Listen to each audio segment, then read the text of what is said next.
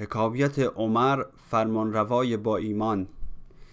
گدایی شنیدم که در تنگ جای نهادش عمر پای بر پشت پای.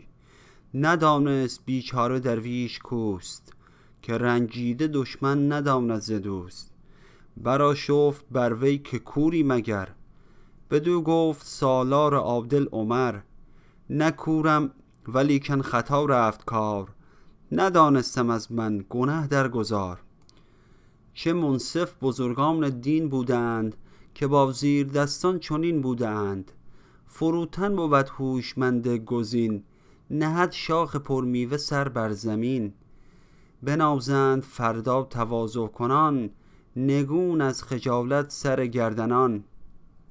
اگر می بترسی ز روز شمار از آن کز تو ترسد خطا در گذار مکن خیره بر زیر دستان ستم که دستیست بالای دست تو هم.